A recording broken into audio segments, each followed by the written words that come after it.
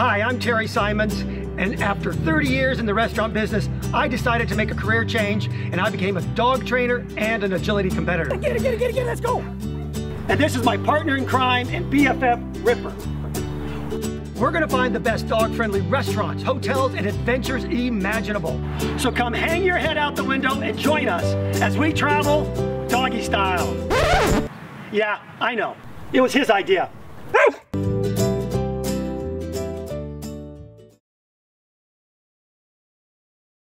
We're off to the Morrison Pub. You're gonna love this place, Ripper. I hear they serve the dogs food off of silver platters. no, no, no. Just because you're being served off a silver platter does not make you a star.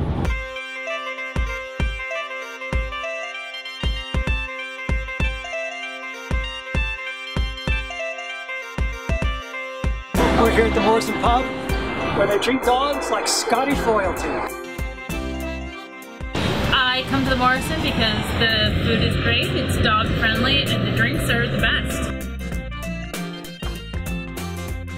The dog friendly patio is great.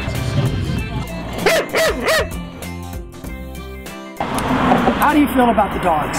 People love the dogs. We love the dogs here. We have dog. We're very pet friendly, and we have the doggy menu, which is underneath. I the love the regular- dog menu. Exactly. I Exactly. love it. You got, where's the beef? Exactly. So it's gonna be rice with the beef, and then we have cockadoodle doo. It's gonna be rice with the chicken, and we make it fresh. And then the same thing with the frankenweenie. That's gonna be chopped hot dog meat with rice too. Oh, jeez. Exactly. That's And you serve them on a silver platter. served on a silver platter, and then it comes with uh, three different uh, dog bones. They really know their dogs and they stick to the meat and the rice, and it's they, the dogs just loved it.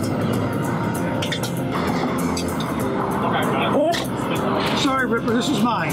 Yours, chicken and rice. Me, bacon bourbonnator.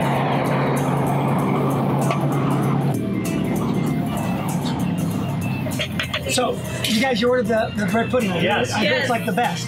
We did. I mean, I mean, the ice cream's melting and it's bubbling at the same time. I'm like, that's like, that's not fair, is it? No, it's not fair to wait either. What's this? What's this? this is their caramel sauce that you can pour on top too. Do we pour on it or what do we do with that? So work it down? I work it down a little bit and create a little.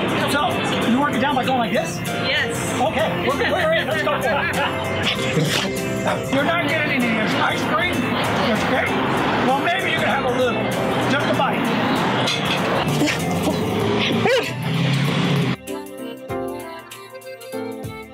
If you need a spot to hang out and have good food and drinks and have your dog, this is a perfect place.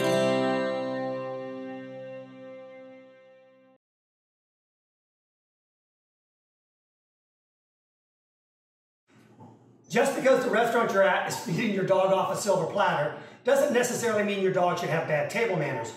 And also, if the restaurant you're at doesn't have a dog friendly menu, make sure what you order them is dog friendly. And if not, bring along some treats to keep them happy. A happy dog is a happy diner. That's how we do it, doggy style.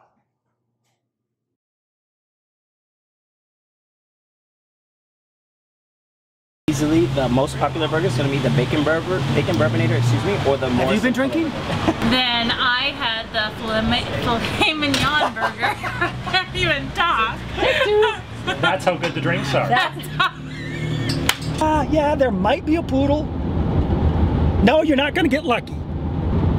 No, no, I'm not wearing a kilt. I hear the sir. So we're off to the.